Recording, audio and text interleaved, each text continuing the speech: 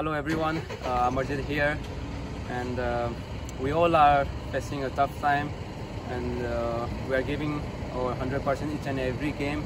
So uh, we all know you guys are uh, supporting from the starting of the season, and uh, we all need uh, your support and your love, and keep supporting us, guys. And thank you, Joy East Bengal.